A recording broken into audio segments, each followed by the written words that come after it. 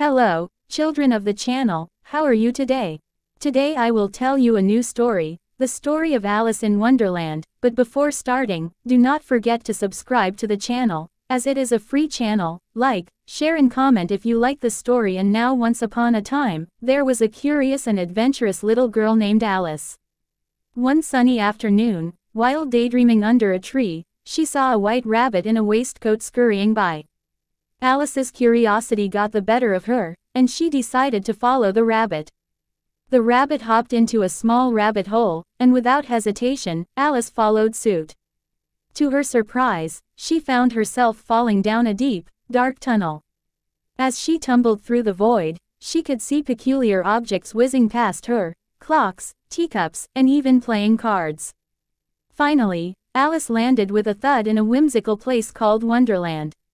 The world around her was filled with vibrant colors, talking animals, and bizarre creatures. Determined to find the rabbit, Alice embarked on a thrilling adventure.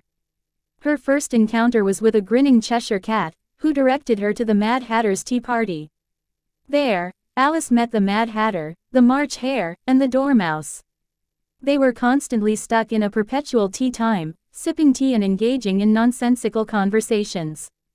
Alice joined them in their peculiar gathering, enjoying the tea and the company of her newfound friends.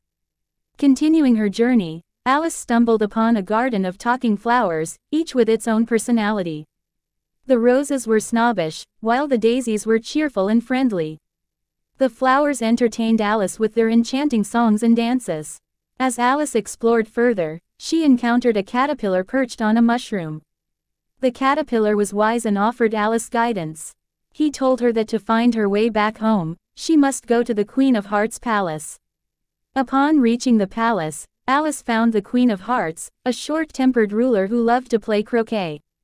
The Queen's army of playing cards marched around, and the White Rabbit, who Alice had been chasing, served as the royal herald. Alice played a game of croquet with flamingos as mallets and hedgehogs as balls, trying her best to avoid the Queen's wrath. In the midst of her adventures, Alice encountered a trial where she was accused of stealing tarts. The courtroom was chaotic, with the Mad Hatter, the March Hare, and even the Cheshire Cat as witnesses.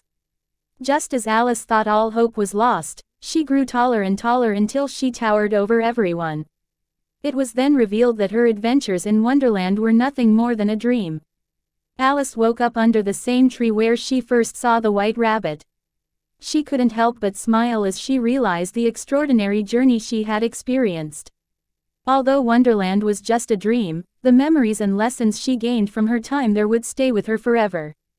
From that day forward, Alice cherished her sense of wonder and embraced the extraordinary in the ordinary. She knew that sometimes, the most magical things can happen when we let our curiosity guide us, just like Alice in Wonderland, Alice realized that her adventures in Wonderland had taught her valuable lessons about herself and the world around her. She understood that sometimes, things may not make sense, but that doesn't mean they lack beauty or significance. As Alice bid farewell to Wonderland, she carried the spirit of curiosity, imagination, and open-mindedness with her. She knew that life was full of wonders, waiting to be discovered in the most unexpected places. Back in the real world, Alice approached her everyday life with a renewed sense of wonder. She found joy in exploring nature, observing the intricacies of the world, and appreciating the little things that often went unnoticed. Alice's friends and family noticed the change in her and were inspired to embrace their own sense of curiosity and adventure.